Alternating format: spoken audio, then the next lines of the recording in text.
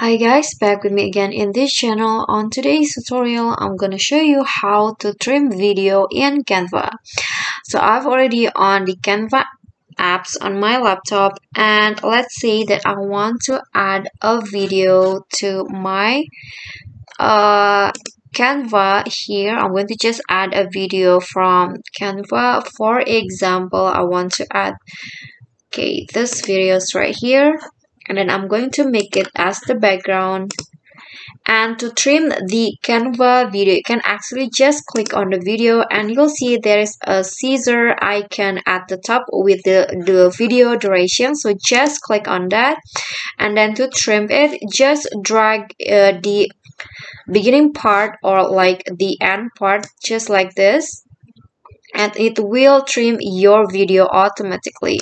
You can only do this for the end and also the start of the video for example like this.